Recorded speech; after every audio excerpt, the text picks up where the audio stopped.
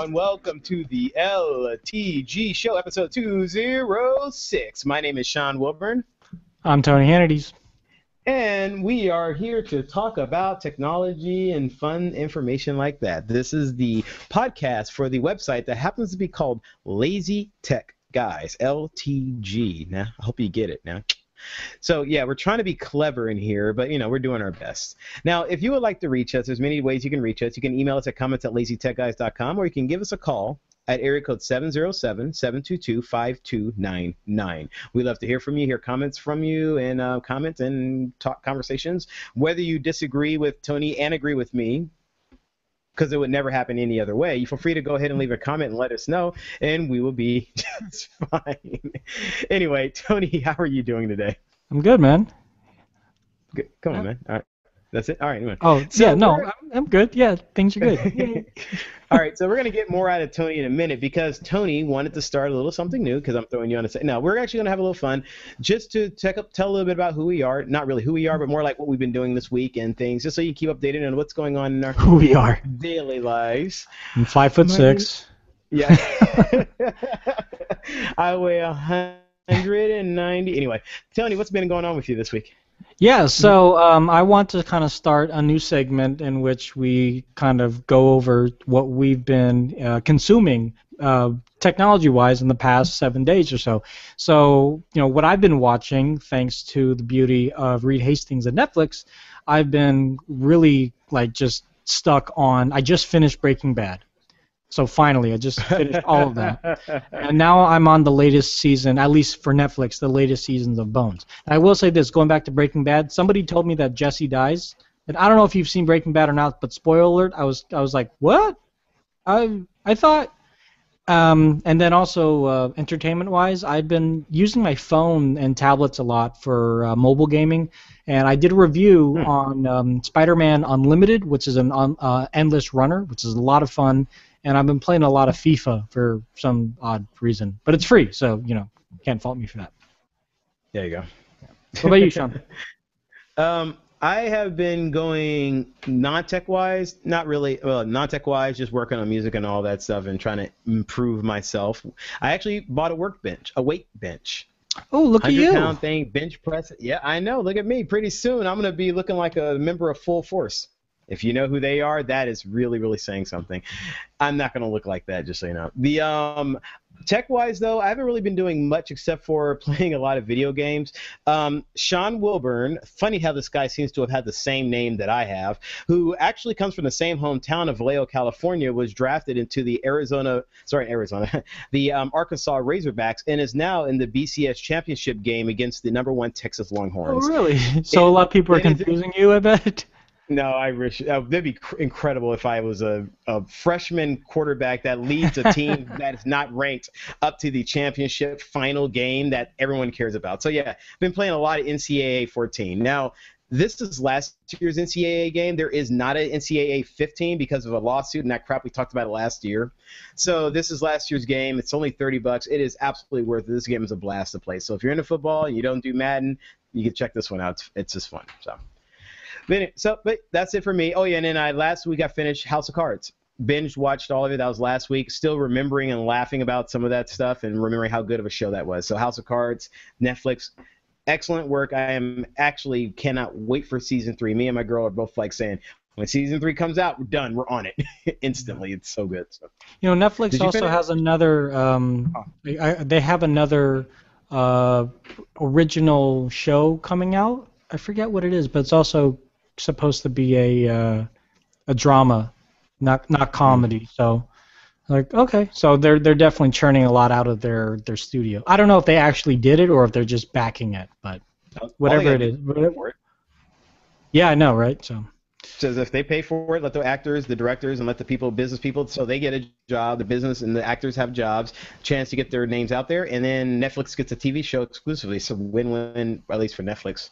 So, yeah, because they they brought um, an anime to the United States, which they obviously didn't make, but uh, at least legally, uh, it, uh, you could only watch it through Netflix, and it's not a bad anime. It's it's good. I, I thoroughly enjoyed it, but uh, it? yeah, it, I you know it was so good. I forget what the name of it was, That's how great it uh, guys. Remember it. That's how great it is, man.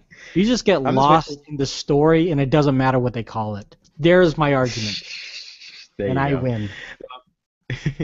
Either way, I mean, very good. Netflix is awesome for binging. Anyway, all right. So besides that, I mean, that's kind of what we've been doing. Um, we I have a review for this thing that we're going to be having up later on this week. This is the My Passport Pro. This is a Thunderbolt hard drive. See, yeah, I am bringing it up. So this is me putting pressure on myself. I've lagged on doing this review for way too long because out of sight, out of mind. And then um, this is a Thunderbolt hard drive, two terabytes, RAID. This is some serious stuff. I'm putting pressure on myself to get it done this week, telling you in right in recording it to the world, to all the people, Bruce, in the world. Yes, I'm going to get this done this week, and if you're interested, got some information for you. Awesome. Anyway, so but this is I can't wait to get on this later on, and of course defeat Texas in the Longhorn Texas Longhorns in the BCS championship game. nice. I'm telling. Oh, we're quick. Before we get started, we have a lot of topics, so we're going to try to get through them as quick as possible within Yeah. reason, talking about it. But also, Tony, Apple Pay. So a couple weeks ago, or a week ago, or whatever that was, Apple announced Apple Pay with their iPhone 6 and iPhone 6 Plus. Right. Now, I have noticed people talking about it. I work retail, so I noticed people talking about it. My question for you is in the retails that you go to, have you heard anyone really talking about Apple Pay since they announced it? I mean, the the people that work there, yes, not so much customers. Um, Hmm. My job facilitates the the Microsoft tablets, and some of the retails uh, they have the mobile phone section, uh, uh, mobile phone representatives cover the tablet. So I've I've talked to them about Android tablets, Windows tablets, and then obviously the the upcoming iPhones that that are available now. And some of them, like uh, some of them that know about NFC, are saying fair, pretty much what I've said. Like, well, now that Apple has, in a sense, um, uh, they've legitimized it by putting it on this latest iPhone. Because before, as you and I both know, NFC has been around for many years, even before Android was even a thing. Mm-hmm. Um, but no, it wasn't really so much widespread, at least here in the United States. And so, um, f- for that reason, Apple Pay, as of right now, the fact that they launched now is great because I think it's next year, it's going to be a law that a lot of our credit cards are going to be chip based as well too. So that also heightens security. Again, United States is far behind that. But you know, if you can get to the technology where you don't even have to bring your your card with you, and it's all kind of in your phone, Apple has done a very good job at implementing it. And although Google has the their foot in that pond first, the implementation of Google Wallet or Softcard is a little clunky. You have to open up your phone, you have to open up the app, you got to type in your PIN twice. It's it just it's possible, but it's a lot to do if you're in line and you're trying to do other things. So um, I'm really happy that Apple has done it uh, because it is going to be in some. It is going to be in limited stores. You know, you have to go to the Disney store to see it. You have to go to Walgreens. It's not going to be in your mom and pop store. Um, Mhm. But the more of these POS companies that make the little NFC um, readers at certain uh, retailers start jumping on board, uh, it's also going to push Google. Now the question Mhm. is, um, and people have uh, asked this before, carriers are they going to be okay with this? Because they were like Verizon, for example, was not okay with ISIS, or rather with Google Wallet. So if you have uh, Verizon and a Google Wallet account, uh, for the longest time you couldn't use the NFC with Google Wallet. Someone told me that now you can, but I don't know if that's completely if that's true or not. Mm. Um, so that You know- Apple Pay, because Apple has such a strong hold in the market. I mean, they're the first major smartphone to get to the con- consumer, and now there's this. Um, you know, the, security is much better than the Google Wallet is, and and and Softcard. Um, is that going to help push further these other services that you can go to? I don't know. Well, we'll see in the next year or so. Well, definitely, you know, I think it's definitely the branding is, I think, the most. It's as crazy as it, as it is, even over the technology, the branding is the biggest thing. And I guess I had one customer who mine who mentioned it, and with the big thing he said was they heard of it, he talked about it, and the person was also reluctant to do it. So, and the reason why was simply because, well, he was worried that they were going to charge him fees, and I was like, don't worry about it, dude. They're not going to charge the consumer fees. The retailers always pay the fees. It's Right. never a problem at all. Yeah, I, you know, when I worked yeah, at when I worked at Radio Mm-hmm. Shack, it was interesting. It was a you know because I had a um, it, you know Radio Shack is your community store, and I had people come in. And they would say, "Why did my phone do that?" They would say stuff. Um, I, do you want to use ca- Do you want to use uh, debit or credit? And like, oh, well, I, I want to use debit because if I use credit, um, you guys get charged an extra like five percent. Mhm. And I'm standing there like the rep, and like, I don't care. He's like, well, in the long run, it kind of comes out of your paycheck. Like, oh, Mhm. that's kind of one way to look at it. Yeah, use debit. What are you doing? so yeah, but no, that's that's very true. Yeah. Yeah. Awesome. All right. Anyway, we got topics to talk about. Let's start. Let's first talk about Apple and Beats Music. So apparently they got some um, branding stuff happening and some changes. Uh, wait, actually, I'll answer this question real quick here. Um, I will not be using Apple Pay because this happens to be an Android phone. That answers my question. Yeah, no, same thing for me. If I if I had an, an iPhone, I would totally use it. I mean, when I first got my the first Android phone to support um, ISIS, when it was called ISIS at the time, because I'm on Verizon Wireless, um, I was I turned right over to the store, got an ISIS SIM, and went right to Jamba Juice to get my free Jamba Juice for using ISIS. So I mean, I'm I'm all on board with that. Um, but yeah, and so yeah, if I had an iPhone or um, if you want to give me an iPhone, yeah, I'll totally use it. Yeah, I don't know. I'm old school. I'm I'm kind of like, eh. I'll worry about it later. Over time, I probably will, will probably have to use it, but as of right now, I got a credit card and a wallet, so I might as well just keep using Yeah, it. Yeah, there's so many times I draw I don't drive with my with my wallet. And I Yeah, and I that's kn- you. That's you. I mean bro, that's just not me. but I'm just saying, I mean the you know, if we were if we're legally able to digitize everything, I mean you can have a digital thing of your registration now. So I mean we're getting to the point where you could do that with your driver's license and other things, Well, well, and with mm, additional security. Oh, we're gonna get there. Don't Yeah, don't just. we'll I mean, it's gonna it's there. gonna take a long time, but we're gonna get there. So I'm Yeah, already on board for the fact that to me, um, having my phone is more important than having my wallet. Because if I ever get pulled over, I'm like, well, sucks. I'll get a ticket, but as long as I can call my wife anytime or whatever, I'm beck and call. That's that's all that matters. So Mm. All right, what's going on with Apple and Knock on wood. Brandon. don't don't pull me over. Ah! All right, Tony. So Beats Music um, was acquired by Apple earlier this year for about three billion dollars, as we know, and for up until now, I mean, it's kind of uh, going along side by side with iTunes Radio and Beats Music. They're kind of both kind of cannibalizing each other, and there were some rumors stating that they were going to fold Beats away. They're going to get kind of get rid of it. Uh, according to Apple, it is not. Um, Tom uh, uh, Neumayr, uh, which is Apple's PR rep, he basically said it's not true, which is interesting because you know when it comes to rumors, Apple doesn't say anything. You know, I mean, for the most part, they don't even say anything like we don't comment on rumors. Other companies would say Apple just shuts up and they don't they don't say anything. But I guess they were very adamant about clearing this up. Um, according to reports on Recode.net, uh, Apple will, in a sense, get rid of Beats Music, but the Beats hardware is going to stay. So.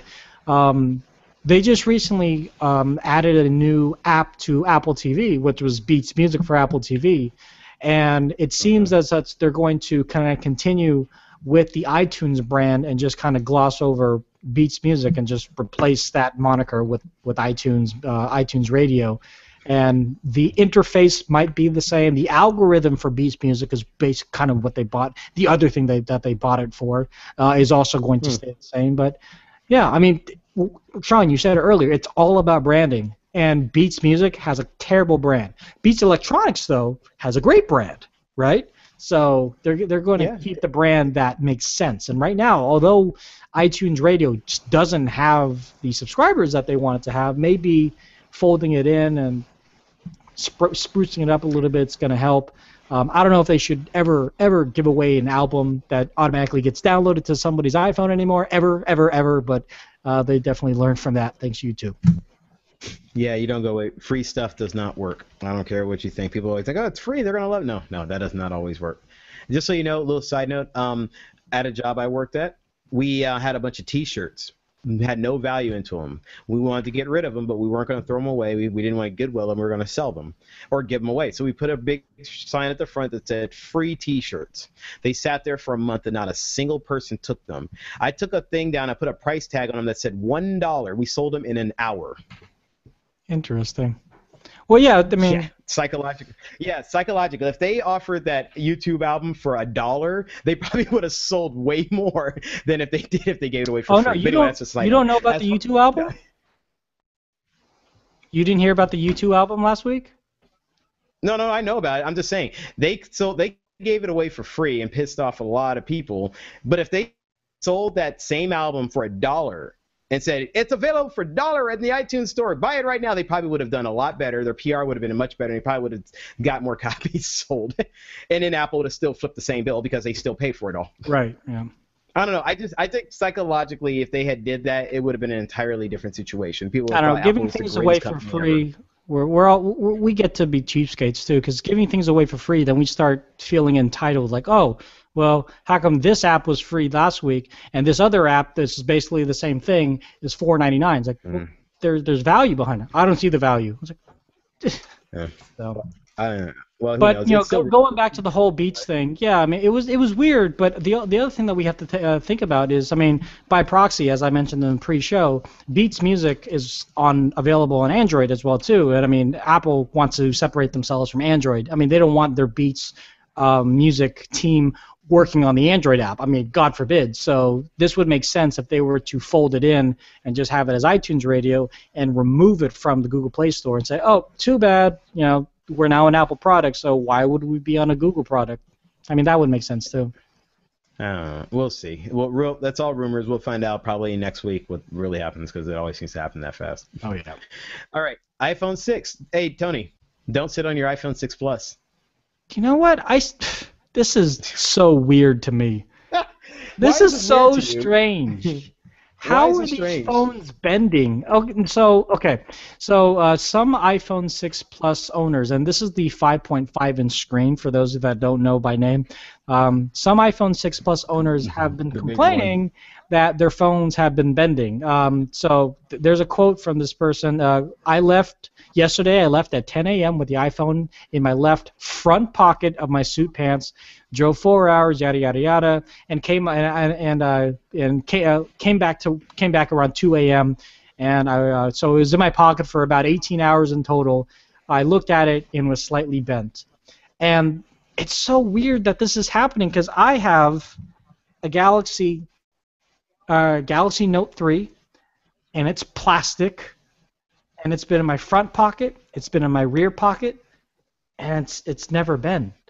And I don't know. So there was a, a YouTuber who does uh, unbox therapy. I forget what his name is, but he took his iPhone 6 Plus that he probably literally just got on Friday, and on camera he saw how much of a give, how much of a bend that the iPhone 6 Plus can handle, and it can handle Yeah. quite a bit.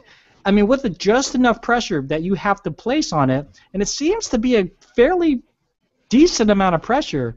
Um, I don't know how that would happen, especially if it's in your front pocket. You have to be leaning on that for the iPhone to bend like that. So I don't know if Apple is going to do anything for these customers. I mean, it definitely wasn't a cool feature. Mm. you know, Samsung and LG beat that beat that to the punch, but um, this is this is very strange. So for those of you that are out there possibly looking to get an iPhone 6 Plus, if you weren't banking on getting a flexible phone, you might want to consider putting it in your inside breast pocket or something else, because I guess this might happen to you.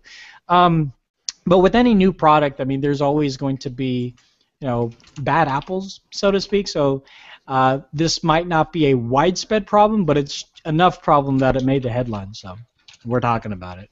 I, I, I, don't, do That, I, well, nothing I can say about that. It's just what it is. I, yeah, I, yeah. All right. Well, I apparently using DuckDuckGo and Google, which by the way, DuckDuckGo is a really cool, secure like browser. It was a way that people would use to not use Google and get tracked and different things like that. It was a way that you know I want to browse the internet anonymously, anonymously, not be tracked, be completely clear, and just get my information. Well, DuckDuckGo has now been blocked. Actually, has joined Google being blocked in China. Tony. Yeah. So basically, uh, Sean said everything that the main things that DuckDuckGo is, and it, as you know, in China, they're they're very strict on what you can look up. You can't look up if you're in China. You can't look up Tiananmen Square. Because uh, it's not going to come up with anything. It's going to tell you how to get there. It's not going to say anything about you know the tanks or anything. So um, DuckDuckGo, on the other hand, though, uh, if you were to go to that, you can look up pretty much anything you want, and not only that, you're not tracked. So in the latest update to iOS 8, DuckDuckGo was one of the default mm-hmm. search engine that you could use. So if you have an iPhone, as the mm-hmm. iPhone 5S and 5C were sold in China as of last year, uh, those people that up- updated their phones to iOS 8, they could choose DuckDuckGo as a default search engine, thus allowing them to search things without being tracked by the Chinese government. Chinese government's not too happy about that, so they block the IPs or any any any uh, and any of the DNS is going to DuckDuckGo. Um, and this also kind of yeah, and the other thing about this too is the iPhone 6 and 6 Plus are still delayed in China. I mean, we hear 10 million iPhone 6 and 6 Plus have been sold worldwide as of late, and there's a huge uh, fulfillment that there's a lot of delays. People are having to wait months to get their iPhone 6 Plus because Apple preset a huge amount of phones to be sent to China, but they can't be sold yet because they're waiting for China to uh, release the ban and to release the hold on, on these phones. And this also has a lot to do with it because these iPhone 6 and 6 Pluses come with iOS 8. So by putting this on there, maybe this maybe this has something to do with it, maybe not. I'm sure it does. But the fact that now that the Chinese government as a whole has blocked anybody, whether it's on the iPhone or just your browser, to go to DuckDuckGo to use a search engine service, um, this just makes it maybe one step closer to actually releasing the iPhones. But I don't know. It's two thoughts. Yes. I agree with you 100% about why DuckDuckGo got can- is getting uh, screwed with. China, exactly. I'm like, yeah, that it makes 100% sense. Two, I don't think Apple has greased enough palms to get that phone out in, in um, China yet, because I know that's definitely how it works out in the states. Grease a few more palms, pay a few more dollars, help a few more politicians get a couple more houses, a couple more ben- Bentleys, and throw give away a free more a couple more phones. Yeah, I mean we're seeing that with the Xbox oh, One, aren't we?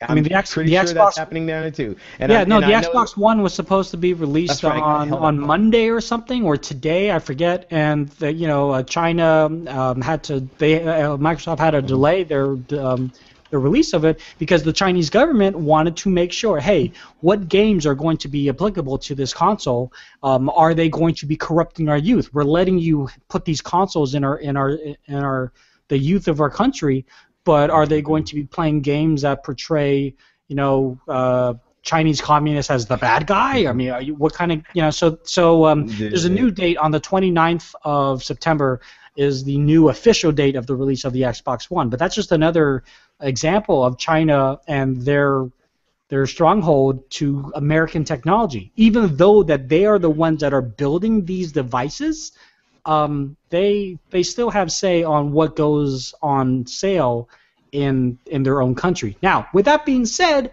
there's a crap ton of iPhone 6 pluses and 6s going to China in the aftermar- uh, in the black market. So, I mean, a lot of the uh, people that are waiting in line for 10, 18, 19 hours, um, a lot of them are reportedly buying iPhones and then reshipping them um, under the radar to China to make a fairly sizable profit. Because um, if you want to buy one of these phones, they're over a thousand dollars, even just for like the, the 32 gigabyte models. So, you know, I mean, it's it's a sought after device. Yeah. yeah.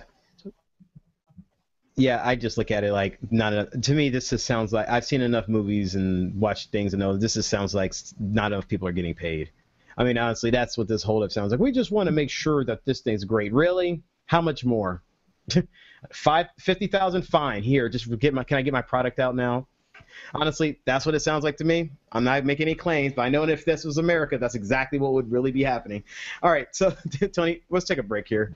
Let's um, and then after that, we're going to have a whole bunch of other topics that I'm not going to tell you about because you're going to have to stay tuned to see them. Actually, they're going to be mobile topics, some other gaming topics, oh, some digital music and stuff, digital music stuff. So let's take a break.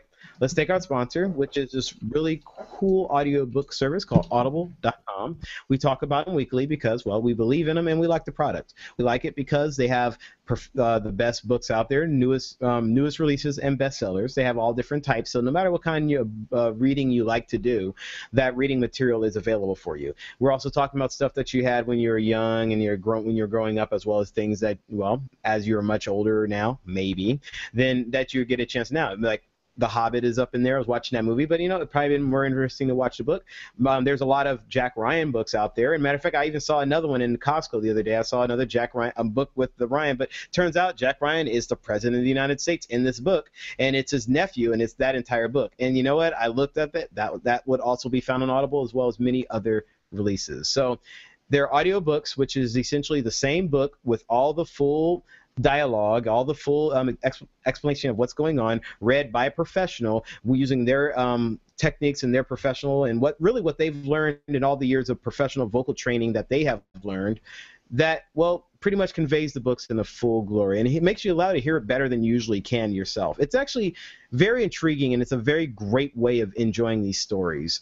And they are stories. Definitely want to check them out. And with this URL, this with this URL that we have on the screen, you get 30 days to check it out for free, and you get a free book as an example. So don't take my word for it. Seriously, sign up, check it out, and when you listen to it and you enjoy it and you get your free book, you're going to be like, wow, this is really good. When you stay a member, you actually get free books every month. You get discounts on other books, and it's an all-around a great book club. This is yes, audio audible.com is the book club of audiobooks. So this is the URL we want you to use to sign up is audibletrial.com forward slash lazy. That's A U D I B L E T R I A L dot com forward slash L A Z Y. Sign up, enjoy your free book, and most important of all, enjoy a quite a killer audiobook service. All right, Tony, you listen to digital music, right? All the time. All the time, like when you're working out, as well as when you're running, going to the show, and all that kind of stuff. Oh yeah, I mean, it's, if it's not digital music, it's it's podcasts. Yeah. So. Yeah. All right. The um. I don't. You know what I don't listen to enough though. What is are that? The, are the turtles? No, that well, there's a reason. no, so the turtles. If anyone ever heard of the turtles, they're this group. They had a uh, like a big hit a while back. Um, I don't know if you guys ever heard of it or something. I think it was back, popular back in the 70s or, or late 60s actually kind of one like this here.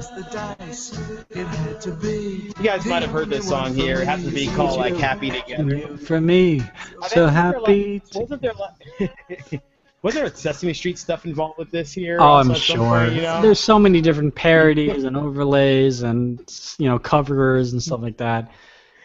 You're so, you're not a doo wop group if you haven't tried to cover it. That's all I'm saying. that's what I'm talking about. You that's what I'm talking about. So apparently in California, the state that Tony and I happen to reside in at this moment, well, there is a lawsuit going on between two of the members of the Turtles and Sirius or Sirius. I can never I know how to say that wrong. I always say that wrong. Sirius XM Radio. So it turns out, I'm not going to get into the full details because there is a huge amount of dialogue and details here, but what it came down to it is this. Before 1972, there was no uh, copyright protection the way that the way that masters are copy, uh, master recordings are copywritten and protected today. Prior to 1972, they didn't exist. So what a lot of digital radio stations, including Pandora and SiriusXM Radio, have been doing, since there is no protection for copyrights, is that they've been using that material and just playing them and using it as a way to get material for their digital music services.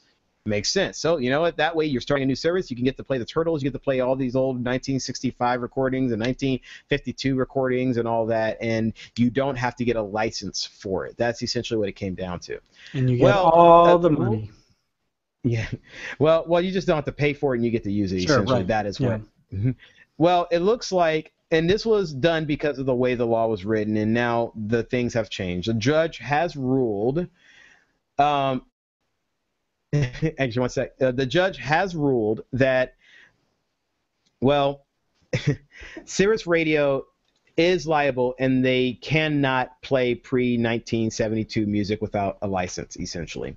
This is not just going to affect them, this is also going to affect services like Pandora and countless other music services that have done this for years because this is how they've beefed up their library. Now, there's a lot of different things that could um, fall out. There hasn't been an official lawsuit of how much money the people from the Turtles, which the two folks are uh, Flo and Eddie, are the the couple folk, the two.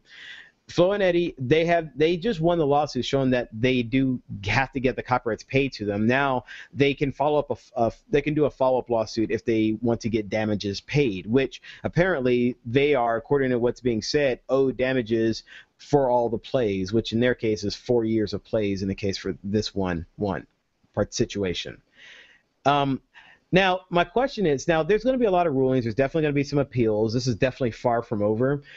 But how do you think this is going to affect digital music? Like, this is all the music from before 1972 that apparently a lot a lot of these services have been you paying a copyright for, or if the companies have been not smart enough to redo the copyright, I mean, put it to a copyright later on, that they've been able to get without paying a license. Well, this is going to end now, and most likely they're going to be paying licenses for a lot of this music because other comp- other people will be following suit. Um, Tony, I mean, just real fast, what do you think your your opinion on what? Do how do you think this is going to affect digital music dis- distribution and all that? It's going to be a little rockety for the next couple of years because this basically set precedents. Um, you're going to get a lot of groups, or I guess maybe descendants of the uh, of the artists coming out of the woodworks and saying, "Hey, you know, uh, my granddaddy wrote this song. You guys are playing it. It's pre 1972." and you know our family isn't incurring any kind of royalty from it and because of this uh, you should because the guys from the turtles have uh, been are, are now awarded uh, x amount of dollars for x amount of airplay um, we should be allowed this now now, Sean, th- this is pertaining to a Sirius XM uh, satellite radio, but does this mean that this covers all radio, like even like yes. KD, K, KF, KDF, KFRC? Yes, ninety nine point seven back in the day. yeah, it, I mean that's is, um, this. Yeah, this yeah. So not what I what I think. This, oh. No, I was, say, I was gonna, say, I was say real fast, Tony. There's a little delay here. Um, real fast. It not just covers digital radio. It covers terrestrial radio, which is what Tony's talking about. Stadiums, clubs, and bars. Any public place that plays 19 pre 1972 royal uh, music but doesn't pay royalties. That's the those that's who this affects. So now, Tony, go on. Does that affect people that use it for sampling purposes? Oh, well, that's been affected for a long time. Okay. That that has been an issue. This will be more like that old '50s diner that's always been playing Johnny B. Goode without yeah. paying royalties, just on a yeah. little juke. That's it'll affect them now Johnny B. Goode and everything on that jukebox would have to be licensed correctly through the company by the jukebox from or whatever, however that stuff system works. Matter of fact, there's digital jukeboxes now. They come over, they stream online, so most likely they're right. getting the licenses that way. But a little touchscreen thing. Yes, but you get the idea. This is like it affects anything that played pre 1972 music. Yeah, I mean, you you know the music business way better than I do, and maybe forecast a lot uh, with a lot more certainty. But I I just see this kind of being uh, an ongoing story with uh, popular and not so popular groups. Definitely one hit wonders from you know er, maybe the 1950s, 1960s. Um, so I don't know. Uh, I don't know if this would cause the the cost to be passed on to us. So for example, using jukebox as an example, those those jukebox at the bars that are with the digital jukebox, usually it's like a dollar for one song, two dollars for three songs. Maybe now it's mm-hmm. gonna be mm-hmm. two dollars for one song. You know, it's gonna maybe offset the cost. Uh, for free streaming radio, maybe you're not gonna get six skips anymore. You're only gonna get three skips, and then you have to hear an ad or something like that. So. Mm-hmm there's there's definitely going to be a shift in services um, and how we uh, how we consume them, and it's going. You know, I, I don't necessarily think that the overall monthly cost would go up, uh, or though it might. You know, you you never know. I mean.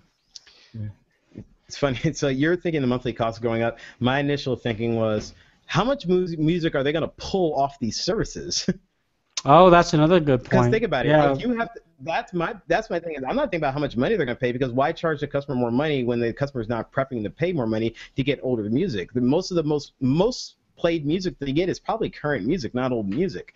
The old music fills out the library and gives someone people a chance to go back and remember, like having a, just having a library. What am I saying? Yeah, I mean, The, if you um, if you look at like Amazon streaming music, whatever they call it, Prime Music or something, a lot of those tracks Mm-hmm. are old.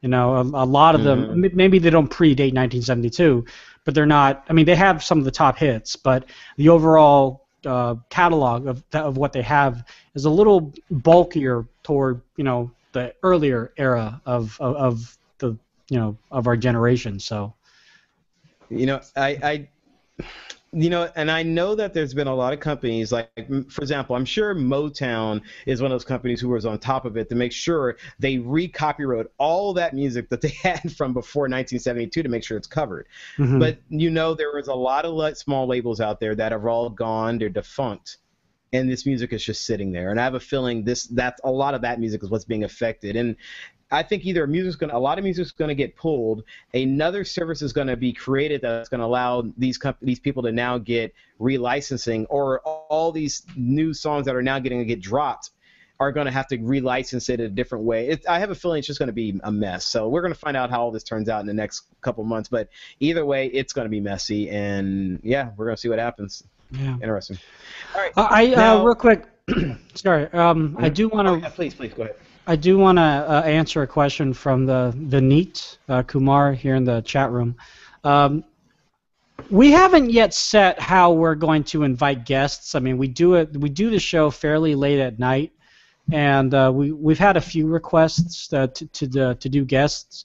And the reason why that we can't just add somebody to the show is because we do have a preset show, and not that you couldn't go along with the topics or anything like that, but it's just for, for a means of just kind of keeping our ducks in a row. If we're going to have a special guest, we'd like to kind of set that up prior. So, Vanita, if you want, you know, and I'm Sean, I'm sure, you know, if you're open to it, to, to have him come on a, sh- a future show maybe later on in the next couple of weeks or so, you know, contact us. You know, our our uh, contact information is at the beginning of the show as well as the end of the show. So contact us through our email or Facebook or Twitter. Um, we got your email as well too, so maybe we'll we'll hit you up later on tonight just to kind of uh, set things up. But yeah, if, uh, with all due respect, we'll we'll we'll we'll add you to the show um, in a more, I, I guess, not just professional, but a more organized manner. That's all. Um, 707-722-5299 or comments at lazytechguys.com. Yeah, thank you.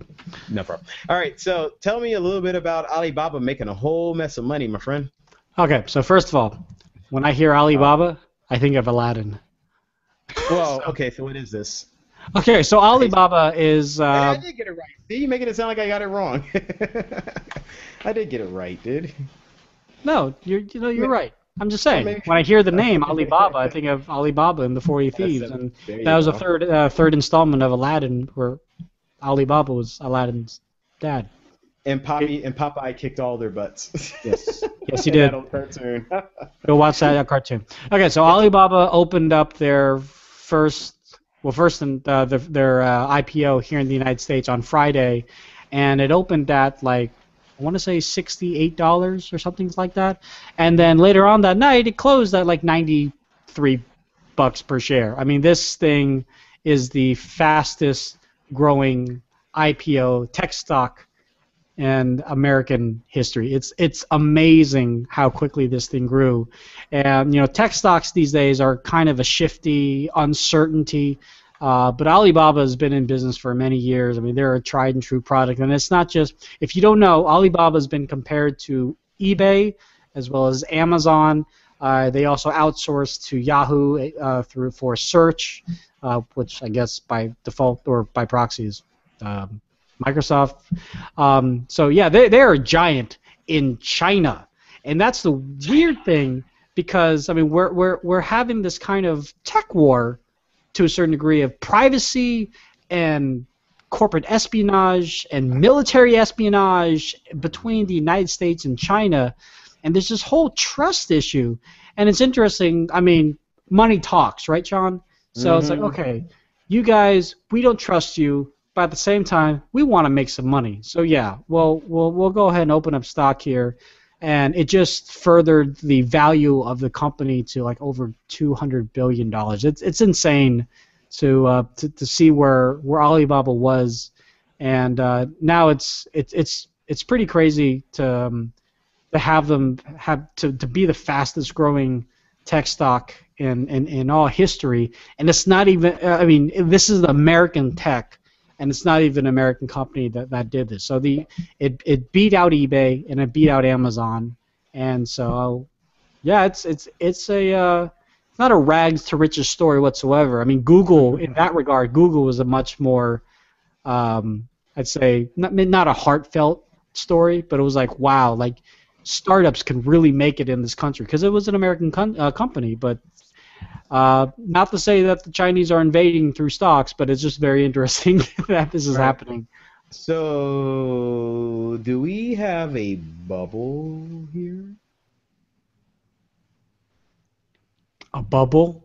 Do we think we have a bubble in this situation? I'm curious because I'm always leery about tech stocks in general, just because it seems like a lot of investors who don't understand technology and who have all the money, essentially, are the people who don't understand technology, are just throwing money at what they hear and think is the next biggest thing. Alibaba has had a big name, a big reputation out in China, which of course a lot of these companies have stock in and businesses in, so they and and connections in. So to them, Alibaba is a big deal. But out here in the United States, which they did this thing, what does Alibaba really have in the United States? I mean, well, they, they are going to be opening up a marketplace here in the United States. Uh, they're they're like not calling Amazon. it they're not calling it Alibaba. They're calling it something else. Um, like Amazon, then.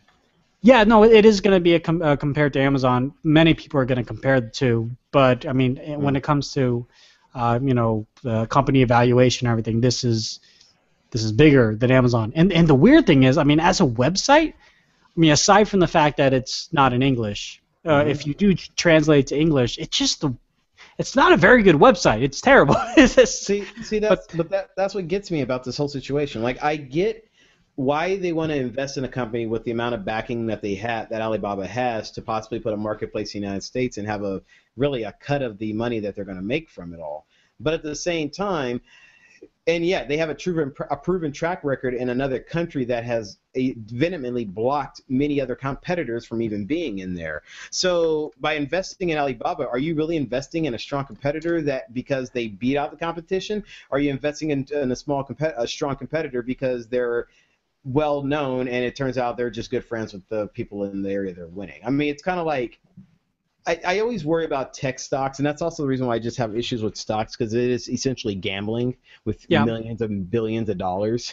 yeah. So I don't know. I like I said, I'm leery on it, and that's just because of who I am. I'm always I'm not really gonna be like, yay, Alibaba, great numbers. I'm just gonna be like, there's a lot of people are gonna lose a hell of a lot of money with if they fail at this. Yeah, and I do want to retract my earlier statement. That that's I, I said 200 billion dollars. I meant um, and I meant 25 billion dollars. But still, that's that's a that's a lot of money that I will never see in my lifetime. Not yet, at least. Not yet, at least. Yeah. Still waiting for that awesome idea to pop in my head at two in the morning. Dude, I know. Have your phones know when you're not looking at it versus when you're looking at it, and have, dude. How about something like that? Google isn't working on that, right? Actually, Sean, they are. Yeah. yeah you're gonna be broke. Sorry, I can't help you anymore. Yeah, I know. So, um, there was a patent that went to, I guess, to the patent office that hasn't yet. It's been filed but it hasn't yet been approved. Uh, but this went on September 4th, and essentially this is uh, titled "Detecting the End User, uh, Detecting the End of a User Question," and basically, it um, in the patent it outlines it as this quote: "The digital capture may be a digital video recorder." Digital camera, a webcam, etc. The, uh, the visual capture device may capture visuals and represent the visuals as a stream of images that may form a video. Um, also, if you go to this Phandroid article, um, it, it, it gives a fairly good example where the phone is sitting on the bench or wherever, maybe you're looking at your phone, you say, okay, Google, what movies are playing tonight? And the phone knows you're talking to it, and it says uh, Casablanca, Citizen Kane, and Planets of the Apes. Then you turn to your uh, and then you ask uh, then you ask what is the approval rating of Citizen Kane, and it says Citizen Kane has an approval rating of 99%. This is something, this interactivity between Google Now, they've talked about this with KitKat, and they've talked about it with the next version of Android L. So we know that part's coming. What's different is that without having to exit out of your Google Now experience, you can just turn away or maybe place the phone down. Um, and your phone will know that you're no longer talking to it, and you can say, "So, Sean, what do you think about us watching Citizen Kane?" And this is where the phone will quote unquote exit active listening mode, and you would say something like, "You know, that sounds kind of boring. Can we can we watch Casablanca?" And I'll turn back to the phone. me say. Hey man, Casablanca is an awesome movie. I know you and I probably wouldn't watch it together, but I'm just saying. Dude, first going back to going back it's to a the example movie. though, going back to the example though, I would turn back to my phone and without even saying, "Okay, Google," I'd just turn back to my phone and say, um, "What's the approval rating of Casablanca?" And then it'll say something like, um, "The approval rating of Casablanca is uh, 88%." So that that is something being able to communicate with your phone. Um, they're now doing that with infrared sensors that you can just kind of wave over like the Moto X and it shuts off a phone. But it's the it's infrared sensors. It doesn't it senses gestures, but it doesn't sense like your face. So this wouldn't necessarily be like lip reading at all. Uh, but it would know that you were talking to it specifically, and otherwise, it would it would in a sense shut itself off so it wouldn't hear uh, conversations that you were not directing to it. In The other words- question is it words, going to shut off?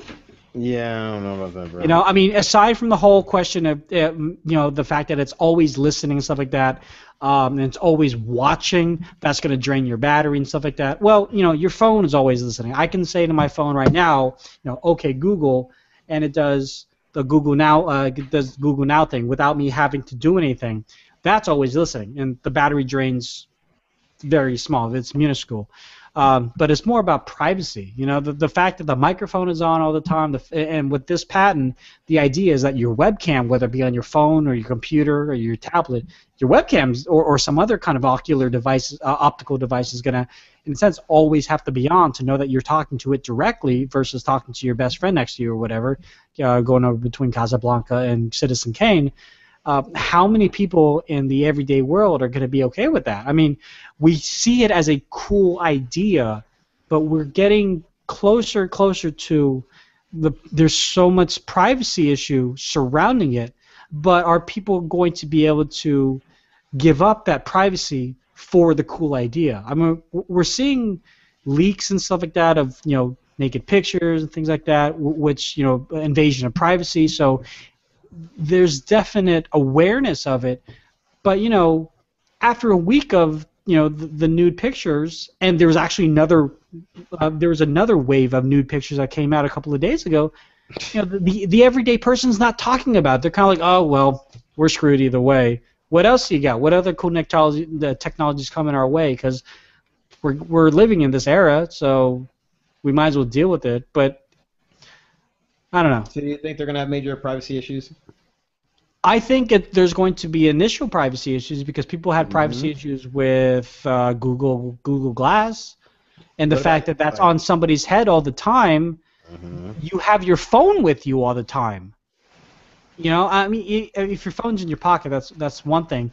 But you know, can you imagine walking by somebody and you just have your phone and just kind of looking at it? Maybe maybe you're just holding your phone. You're just not really doing anything with it. And someone says, "Hey, shut your phone off. You're taking pictures of me." Like, no, I'm not. No, your phone has uh, has always watching on because you're you have an Android phone. I don't want I don't want Android seeing that I'm walking by. Like, that seems a little far fetched, but it's something that could totally happen because of Google's prior uh, uh, experience in this kind of world of cameras on on, on wearables and, and things of that nature. So No, I agree with you. yeah, The only thing I was thinking of, this is a missed opportunity. You know that Android robot I keep telling you that Google needs to make and keeps trying to make? This Yes. technology should be look, the interaction that here, Sean. Here's your tinfoil hat. This is what I was making earlier. Oh, Here's a I'm tinfoil hat. Hey, hey, I'll wear it for you. All right. I, I don't know how to. My wife does the origami. I don't know how to make hats. No, so here's the deal. You need a bigger piece of foil. I- The, uh, that that cooking foil stuff is great for cooking, but not for making hats out of. Well, I- I'm not gonna put this to waste. I'll I'll I'll cook some like uh, hash browns on it tomorrow or something. There you go. Good choice too. Um, so the what I was thinking about this is this will be better on an Android. Like the biggest thing about the technology would be it will be able to discern if like it'll be able to be pretty essentially be a person in the conversation who's being quiet and only answers questions when you want have a question for it. But they're always listening to all the words. They always know who's involved. They know everybody's in the conversation. They know everybody in the room. They just know when to speak when spoken to essentially. Yeah. What this this will be a virtual butler. This will be a great thing for it to do because it'll be that one time you're like, oh, you know what? Hey, geez, where's this thing? And it will answer you. Great.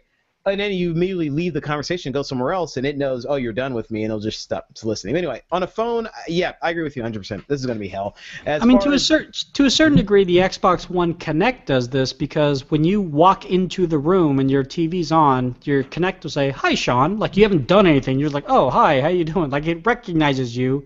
And then, you know, if Rad were to walk into the room and he has his profile uploaded to your your account for whatever reason, like, "Oh, hi, Rad." He's like, "Oh, it knows Rad's here too." Just, just because of the facial recognition. So that's facial recognition.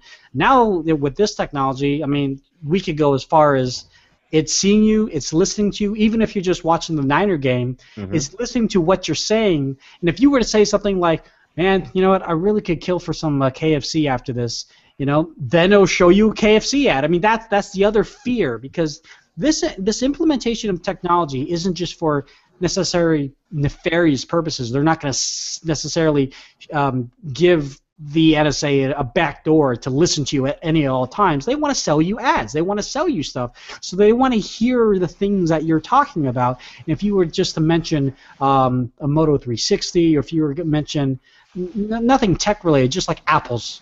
Like, oh, you know what? With Google Shopping Express, we can have someone ship apples to right to your door in less than 30 minutes. It's like, oh, I wasn't thinking about that seriously, but now that you mention it, sure, why not? I mean, that's that's that's the that's the direction that I can see that going in. Yeah, well, every, yeah. The bigger fear behind this difference between this and Kinect is the phone is always with you, and the Kinect is a Right, stationary thing yeah. in the room. That's what makes things like Kinect okay. Things like this is different because you can walk down the street and do it. That's what makes this different. Anyway, all right. Hold on, I just want to do something. Um, Xbox on. I just want to see how many Xboxes I turned on. Okay. Ha ha! You jerk. Yes. Google Nexus 9 is happening. Made by who? HTC. Who are they? I'm kidding. What we got going on, man? So yeah, uh, HTC hasn't made a tablet since I think it's 2011 with their HTC Flyer, which was a seven-inch tablet. I want to say it was running like uh, gingerbread, uh, running Sense 5.0, maybe maybe not even 5.0. I don't remember, but it was a crappy tablet. I mean, for all, with all due respect, it was like $700 on a contract. It was a lot to ask for, and this was this was prior. It was it's it's uh, it's gingerbread, so it was prior to Honeycomb, which was the operating system to really to really kind of culminate the whole tablet interface. But it didn't really catch on, and um, as a company, HTC hasn't made any Nexus devices for Google. They made the Nexus One, and then that was that was pretty pretty much it. So um, Google's sticking to their promise of going to other manufacturers, not just doing with Motorola, not just sticking with uh, Asus and Samsung. L- uh, LG. Well, Samsung did too, but they've done LG for the past two uh, phones at least. And it, it looks at HTC. We've seen this since July that HTC is in fact doing a nine-inch tablet, and I think it was like codenamed Valaris, or Vitaris, something like that. And it's been cur- confirmed by sources for the Wall Street Journal that this is coming out um, in the next couple of months. Now, HTC has a press uh, announcement that actually we were invited to, and uh, yeah, it's it's um, I, I got this last uh, Monday, and on October 8th, there's an event in New York City. Again, what, which is why we can't go. Uh, but we've been invited to an event on October 8th in New York City. This might not have anything to do with the Nexus 9. Uh, might have to do with their rumored smartwatch that they pulled from IFA and that they're going to be re-announcing at that uh, at that event. I don't think it's going to be a hardware event. Um, but yeah, this is you know since the flyer, HTC has done a huge turnaround, not so much in marketing, but more in their hardware and design. And you know, if you look at the HTC One M7 and the HTC One M8, those are some of the best Android phones, and the M8 with Windows. I mean, those are some of the best phones hardware-wise, bar none. I mean, people have complaints with the camera, and those are valid complaints because they're not as good as HTC kind of promised them to be. But mm-hmm. you know, if you want a nice, really nicely done interface uh, with HTC's overlay called Sense, uh, it's it, they've they've done a really bang up job. I'm very very impressed how far HTC's come along, and it's unfortunate that they kind of blundered their own name with the, the with all the different HTCs that came out prior to 2000. Uh, I guess 2013, because 2013 is when the HTC One uh, M7 came out, but before then it was the One X, the One X Plus, and the One S. And I was like, oh, geez, just you don't even know what you want to do. Like you're just all over the map with all these kind of mid to high end phones. Like, yeah, we mm-hmm. just we just have so much that we want to give you guys. Like, no, just fix, just just focus, focus, and they did.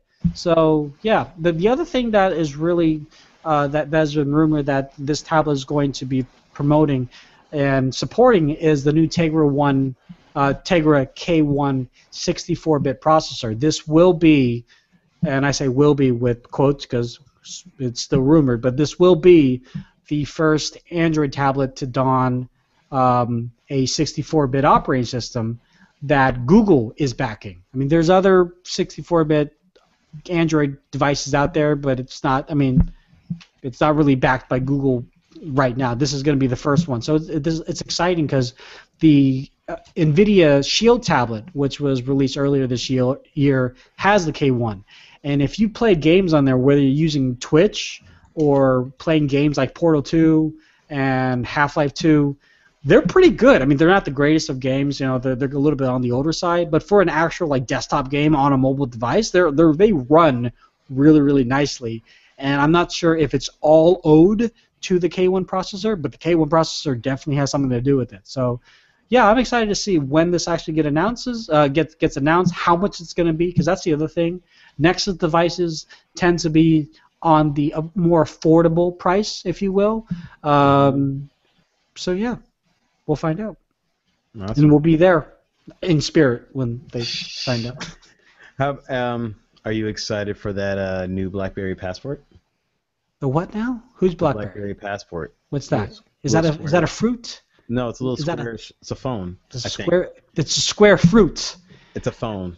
Oh God. So BlackBerry is not dead. In fact, I mean, the last the last quarterly earnings, BlackBerry came up with a profit. So good for them. And and truth be told, a lot of it was due to you know enterprise.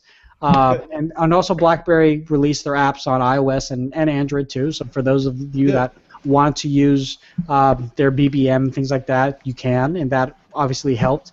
But as a smartphone manufacturer, they kind of took a step back and they have a new CEO, John Chen, and this is his baby. I mean, this is his first Aww. hardware that that he really you know, kind of like how Tim Cook, his first hardware was the iPhone 6 and 6 Plus, so he was really excited about that. John Chen's really excited about this too. So if you haven't seen, as Sean mentioned, this is a square phone. And when I say square, I don't mean like it's kind of kind of no, this is freaking square.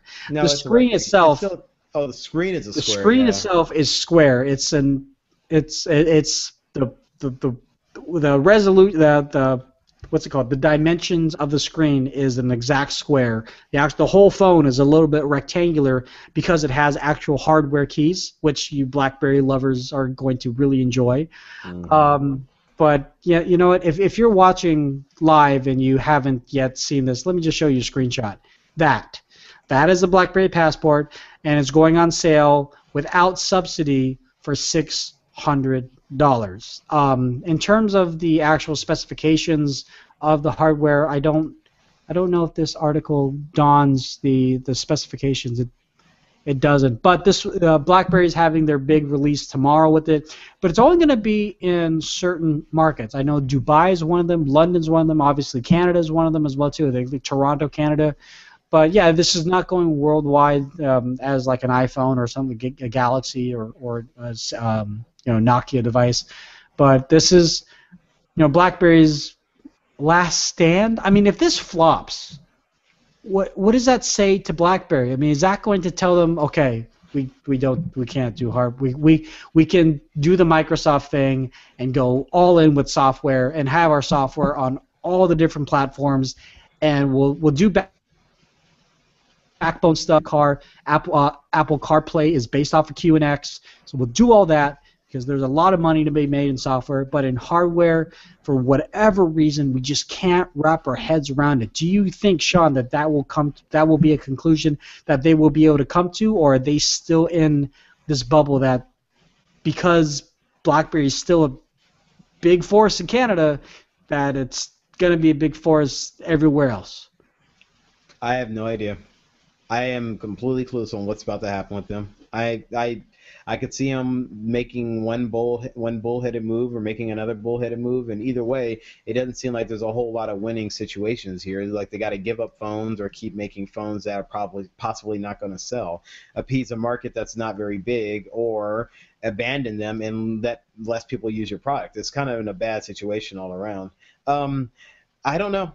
I don't know. I just think maybe they just need to get a new design team, like hire a, complete new, fresh design team, and try it out again while focusing on all your enterprise and your strengths in that realm, and just see because no company can continue to do the same thing for a long period of time and expect to be relevant. They got to keep moving forward and keep adjusting and keep migrating to the industry and to the world. So they have to move forward in some way. I don't know if mo- mobile phones are it. Maybe they need to make hardware for enterprise. Maybe they should. I don't know. I, BlackBerry I servers. Well, servers. do that. Well, I was thinking more of the world of like you have things like um, do switches. the IBM thing. Yeah, think, yeah, like switches and different kind of network switches and way crazy stuff like that. Maybe they get in that hardware. Maybe they have better expertise in that. I don't know. I mean, I um, like, like, last last week, uh, Tim Cook said uh, with iOS 8, all of our stuff is encrypted. So even if like the FBI or CIA get a hold of your phone, they can't get into your stuff because of the encryption that is in, that is baked into iOS 8. And then Google said, "Oh yeah, we've also been working on that for a couple of years with Android L." And BlackBerry basically has been saying, "We've been doing that forever. That's the whole purpose of BlackBerry security with enterprise. I mean, that is our bread and butter." So they really need to like go with that. Like say, "Hey, hey, you know, we we ha- you worried about security? We've got it. We've we've had it. We've set the bar with security. We might not have the best phones, but here are apps that you can use to facilitate that security. We will have end-to-end protection and and, and all of that. And that's, in, in my opinion, that's what they need to do because then because of that end-to-end uh, uh, security, they can say, oh, okay, so these are all the people in your company that want to use BBM because it's more secure than Snapchat and, and Google Hangouts and things like that.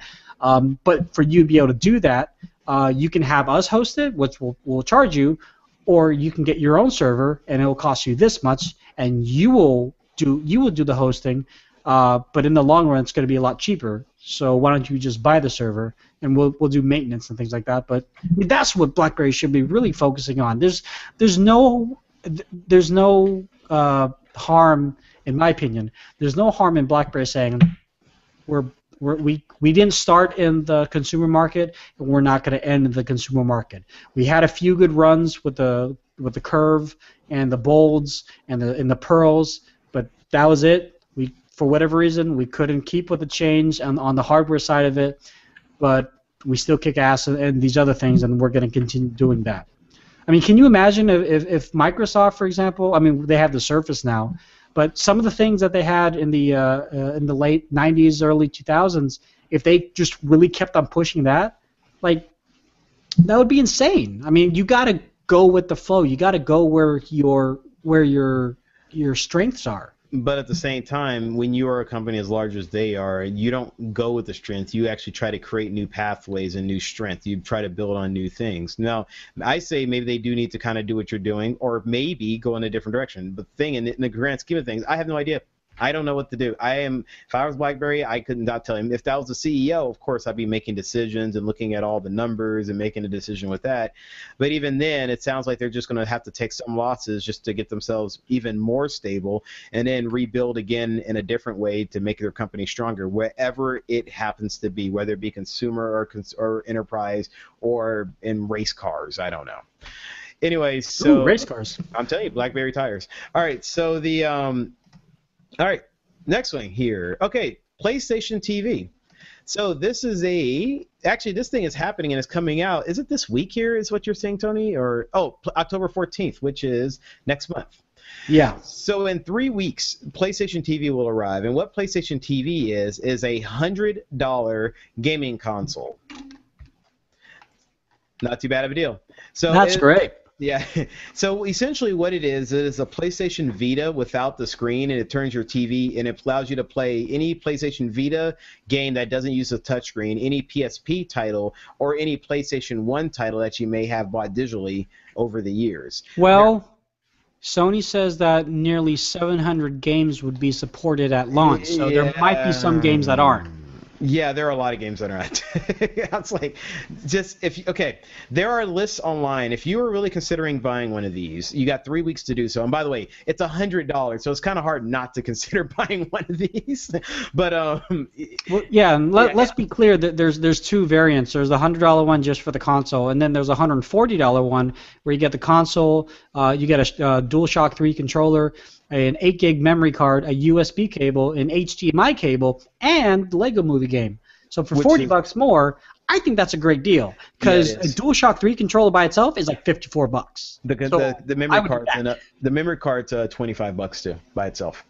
That yeah, the deal you definitely the An one 8 forty gig is memory definitely card is 25 bucks. It's they're so overpriced, dude. That's why the Vita's having so many problems. The memory cards are too expensive. Is it? They're not using Sony Pro Stick. Duos. What are they using? N- their own proprietary. It's Sony. Ser- yeah, see, don't be surprised. It is exactly what they always do, and that's why- Anyways, so yeah, so you got But that. So I mean, yeah, you you probably want to go for the the 140 because that that just makes makes it a great deal. Well, there's actually a little bit more. So I guess the bigger deal behind this is the fact that Sony's been doing that PlayStation Now stuff, which is essentially streaming games to Gaikai. this console. Yeah, the Gaikai technology. Mhm. So PlayStation Now will be compatible with this PlayStation TV. So Yeah. when they launch that, this 102 or 140 dollar purchase, however you want to look at it, Mhm. Now we'll play a lot of the games that were available, or you could rent games. Like you could literally have this your portable rental console. You're a business member, your business thing. You can literally throw this in your bag with your controller. When you get to the hotel room and you're ready to take the night off because you're not at home, you can throw this in there and rent the latest Uncharted game and play it for a night, and then done, you're finished off. I mean, it actually has a lot of cool things about it, and it's so cheap and it's small. It's actually Yeah. Smaller than this passport that I'm holding in my hand.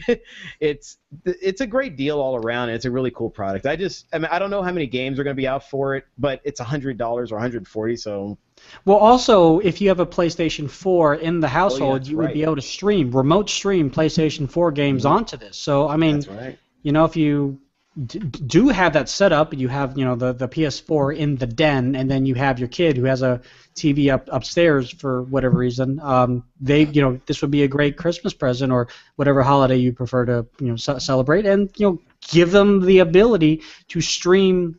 I don't know whatever PS4 game that that uh, that they want while you are playing or you know, using the PS4 downstairs. Yeah, so you could do two things simultaneously. I think it's a great. I think it's a great idea. Not quite. Not quite. You can if your person downstairs is sorry if the the main TV is using the PS4, the other TV cannot use the PS4. Oh, you can't. Oh, okay. No, well, still, even even if that's the case, you don't have to lug the systems. PS4 upstairs. Exactly. Now, if you let's say Tony, you have the PS4 downstairs, and your son wants to play a game, but you want to watch the latest Game of Thrones, you turn on HBO, you watch Game of Thrones, he can play PS4 upstairs. Okay, so I can still use the console, the PS4 console. I just can't play a game. No, no, no. You just you while you the, while one person can use the console. Let's say if you just turn on HBO and you start watching TV, you're not eating up the TV that they want to play video games at. Oh, right, right, right, remember, right. remember right. how when we were young kids and you want to play the Nintendo, but your mom says, "I want to use the TV," and it was the only TV, and you're screwed. Now you can't play video games. Right. it eliminates that. Now they can Right, go right. upstairs and play Right, video yeah. games. And as you mentioned, they don't have to unplug the whole thing and drag it with them. Yeah. now this gives Sony the ability to sell cheap TVs too. It's like, oh, you're buying this, you might as well buy your three hundred dollar 20-inch TV that has HDMI ports and uh, front-facing speakers. Dude, and Sony, if they were smart, would sell this as an accessory. Just this is an add-on to every TV sale that has HDMI. Yeah. Every person who is under the age of 18, they should pitch it. No, no, no. Get this $130 bundle. There you go. Oh, they have a PS3 already. For this $100, you're up and running. Yeah. it's it's a good deal. So No, it's great. I well, I'm curious on how it's going to run. We'll find out in well a couple weeks, and hopefully I'll have $100 to buy one, and I'll let you know. Or $140 really, because I could use the extra controller. Plus tax. Eh, whatever. Um, this is California. We always pay tax. If I wanted to buy an organ, then I wouldn't pay tax. Anyway, Blizzard. You heard of them, right? Uh, yes, I think so. They make um, donkeys, right? Uh, no, World of Warcraft. That's the game. you might have heard of it. Yeah. Oh, Yeah, it's it's popular. It's really popular. It is. yeah, it is. How, So how popular? it's just been around forever, and people are still getting addicted to it. Anyway, Blizzard has so Blizzard has been rumored to be working on a game called Titan. It is an MMO, next generation, that they announced supposedly seven years ago, or has been talked about seven years ago. Well, even though the game has not officially been announced, apparently the game has officially been canceled.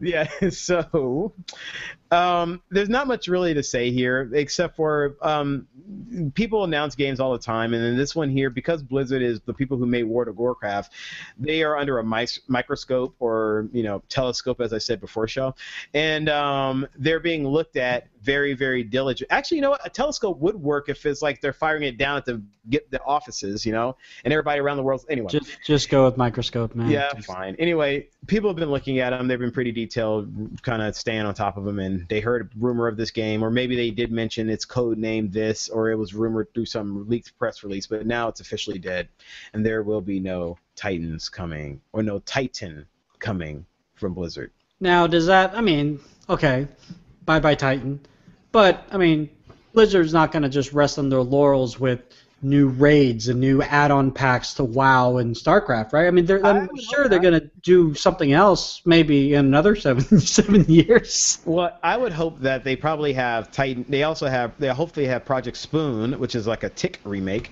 Project um, Audio, Project like five or six other projects that were they were working on, and maybe one of the other projects panned out, and then when they got it together, they're like, you know what, the Titan one that they talked about isn't that good, but Project Spoon, the remake of the Tick show, I'm telling you, this is gonna be huge. Yeah, I Uh, mean, he, he makes a good point. I mean, when you're building games, it, I mean, this is what this is why Notch built Minecraft in the first place. He did it for fun. So, Mm-hmm. you know, he, he said we didn't find the fun with Titan. We didn't find the passion.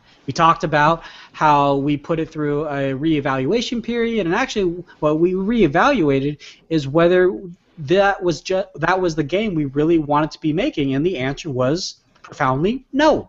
And that makes sense because if they were to go through with it, even after seven years of doing the project, not doing the doing, if they were to finally push it out and it sucked, I mean, how much of a headline would that be for Blizzard? And we're talking Blizzard here. What And do you it think comes out with a below uh, quality game, and it's like what? If it's nothing different than World of Warcraft, it's just just a different kind of uh, you know, you know, uh, story base and things like that. Like, what was all that uh, R and D for for nothing? You know? Yeah, I yeah, yeah. I said yeah. I hope that they have more projects. Yeah, no, I mean, I- they they have to have more projects. They should also bring back BlizzCon, but uh, that's another story. Yeah, yeah, well, yeah. All right. Now, I just want to see the cosplay. That's all. I don't know anything about the game. I just think the cosplay is awesome. See orcs walking around with giant hammers for no freaking reason. It's like, hey, he's getting a donut. Cool, I'll follow him. watch the orc eating a donut. Yeah. Title of the show. Oculus Rift, purchased Oculus by Rift. Have they are they have now released their third prototype of the Oculus Rift called Crescent Bay. The first one was called I think the Oculus Rift. The second one was called uh, Crystal Cove, and now this one is called Crescent Bay, which I guess they're doing some kind of beach thing going on here or something like that. Oh, the beach themed, yeah. Yeah, I thought so. Apple's already got this beach thing going on. They're not both going to fight for the next bay, are they? What what beach thing is Apple? Have? not Mavericks. No, I, no, I mean their next thing is Yosemite. I mean, it, it's Oh, right, those are landmarks, like landmarks, landmarks in general. Okay, relate to California. Yeah. Got it. Just Yeah, land. yeah, yeah. What if you hate California? Does that mean you're going to hate Apple's titles of? Anyway, I'm just kidding. All right. So the Oculus Rift, they announced their new prototype, and this new prototype, apparently, at least at least for this one writer who's from PC Gamer has said, and this is a guy who's apparently used the other Oculus Rift, is significantly better than the rest. It actually has something called presence, which makes you feel like you are really there. Yeah, it has a there. it has 360 uh, head tracking motion. Good. So if you look at the pictures, there are little white dots on the front of the visor. There's also white dots on the back that go behind your head. So if you were to Ah. turn around, it would be able to the because there is a camera. There's an additional camera that you set on your desk or something supposedly, and if you turn around, you'll be able to immerse yourself in that full 3D virtual reality experience. Plus, because of this head tracking capability, the latency and the issue with people having motion sickness is possible to be drastically reduced. Because before it was it was I guess because there was a lack of head tracking or proper head tracking, that's that's where people were like, whoa, and so now it's going to be obviously a lot better. Um, also, they've implemented headphones. Before, you had to kind of put your own kind of headphones in from your Walkman. Yeah, why said Walkman. Uh, your own headphones, whatever you preferred. Now they have their own headphones kind of built in. They're not the greatest headphones. In fact, if you look at them, they kind of look like the free headphones that you get on a get on an airplane. But they're headphones, you know. I mean, it's it's their it's their next step, and uh, they are working with uh, 3D audio companies. So when you're watching, I think one of the movies that you can watch is like a Beck concert. You can actually look around in the audience, and as you look, the music would actually like transfer from one ear to the other, just like it would in a real concert, instead of just hearing it in hmm. stereo. And so, I mean that. I mean, this is all very very cool stuff. However, Crescent Bay is not available to buy. Crescent Bay is a prototype that they showed off, but you can't go to OculusRift.com and buy it. The only one you can buy is DK2, or as you, as you mentioned, Crystal Cove, and uh, so this is this is kind of an I, I, would say it's an internal prototype that they're also handing off to select developers that are developing games for uh, for the Oculus Rift. So. Um, Um, got, but it, it's getting there, man. I mean, So we the- they they promise a release date to consumers in 2015. So the fact that they're, they're ah. making this headway, I mean, the the the the, the DK2 was earlier this summer, and now they're doing essentially DK 2.5. I mean, that's that's awesome that they're So- they're going so fast. They said they promised the a consumer version or a version of this one that can be purchased mm-hmm. for devs in 2015. A consumer version. Interesting. Yeah, and I'll, I'll, I want to retract my uh, other statement. Or no, yeah, no, DK2 was was, was available earlier this summer. Anyways, Essentially, what they did was looked at everything Project Morpheus did and added it to their Oculus Rift. I mean, I guess. I mean, we don't we don't know anything No, else no, from no, Project Morpheus though. No, no, every, no. I do know certain things about Project Morpheus, and everything you stated is exactly right. So Project Morpheus had several features on top on that on top of on the Oculus Rift, which made it slightly better, and what made Okay. it people like it better. One, if you look at the picture of the Project Morpheus, there's lights on the back of it and all around on the side. Those are for tracking. Just like the dots are designed on this thing for tracking. Yeah. Two, they have a camera. The Sony one has been. They have that. Um, what is that thing called again? The eye camera thing that they sell separately. EyeToy. Yes, not no, not EyeToy. It's not. It's something. It's a different name. Okay. Yeah, the EyeToy was it used to be. version. It was EyeToy, then something i, then something whatever the current one's called.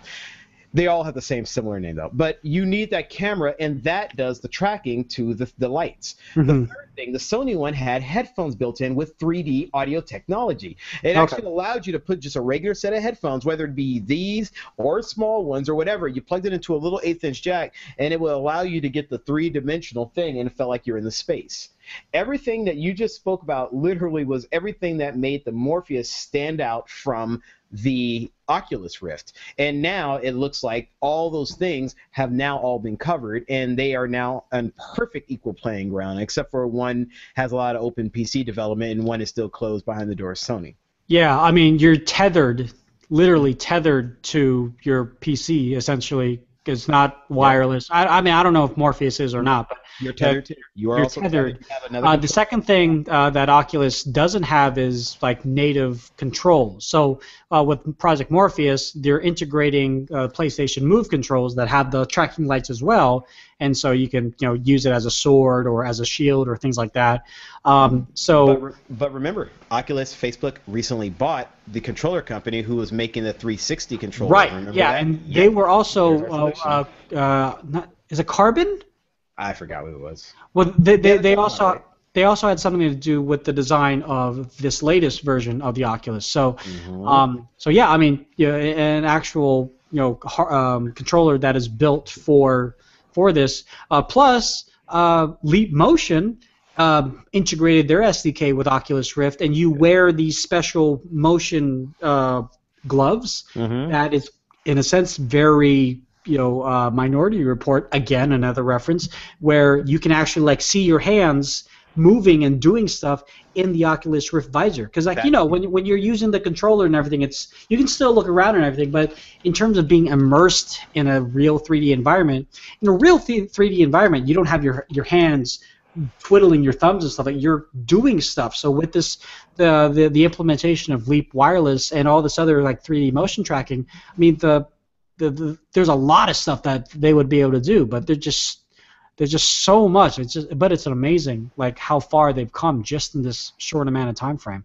Yeah, this is that. Hey, I didn't know about the gloves. Hey, you know what? The gloves I have been talking about for a long time. I keep talking about um, Ready Player One. yeah tact- I kept saying they had the, essentially an Oculus Rift-like style visor with headset so they can hear everything, and they had tactile gloves that allowed them to interact with the environment in the way that we would normally interact. And they were tactile so they could feel things in that world. But I mean, that's some futuristic book that you know doesn't exist. Yeah, But- I mean to, to compare it to one of my favorite recent animes um, is uh, Sword Art Online. Mhm. Uh, it's a little bit of futuristic, but basically people put these VR headsets on, and it's a an immersive MMO, but they're in a sense transported to this completely different uh, digital world, and they're just laying in their bed, and they're not moving. And so it's the lazy man's perfect gaming experience, but in the game you're doing all this stuff. You can look like a hunk if even if you're a scrawny guy, things like that. Uh, but the disadvantage was if someone like took the headset off of you while you're playing the game, um, you could die. so, so that was one of the things, uh, part of the plot. That was one of the things, part of the plot. It's like, okay, well, we got to save this girl, but we can't just take the head of the thing off because she's gonna die. So you have to save her in the game, and in the game, you, uh, the, the main character had to, you know, help her exit the game. Otherwise, she, you know, she's a hot main character, so you want the hot main character to, to live. So. That's hilarious. I'm sorry. That that's a great premise. That's great. Just reminds me of some Matrix thing where if you don't disconnect from the Matrix, Yeah, you're you're stuck in the like literally forever. plugged in. Yeah. mhm. Awesome. Anyway, yeah. Hey, well, hey, this made the thanks. This made the Oculus really great. I'm like, great. Now VR, dude. It looks like this VR thing is really going to happen in about two years. We might be, really be real rolling with this and seeing some great games and ex- it's not even games, experiences across the board. Just standing in there and getting the experience of being in a crowd doing something or maybe therapeutical they'll do like therapy you're scared of heights well we'll put you on a vr where you're on height now and Yeah. have people just get that experience. I mean there's a lot that we can that can be done with this and and in about a year's time it looks like we finally will have this opportunity. It's going to be big. It's cool. All right. Anyway let's go ahead and cut the show off. We've been going on for long enough. Thank you for everyone for hanging out with us. Tony if the people would like to reach you, call you, contact you, or just say what's up, how would they do so? Uh, best way probably would be on Google Plus. Just find me Tony Hannity's, um, or if you want to tweet, you can uh, hit me up at LTG Tony. Excellent.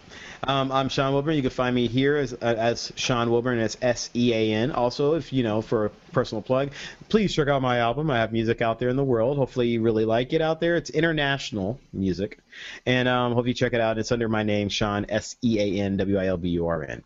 Now. We have a group line and group contact to reach us all, and this is how you do so. Comment at lazytechguys.com is the email. 707-722-5299 is the telephone number.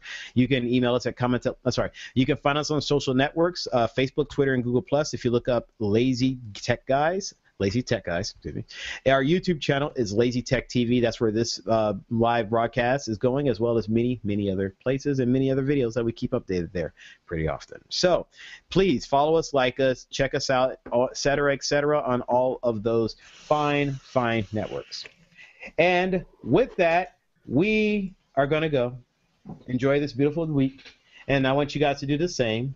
Come back next week at 10, uh, uh, well, 10 o'clock, no, 11 o'clock Tuesday, Pacific Standard Time, and join us again for episode 207. Thank you again. We are out. Peace.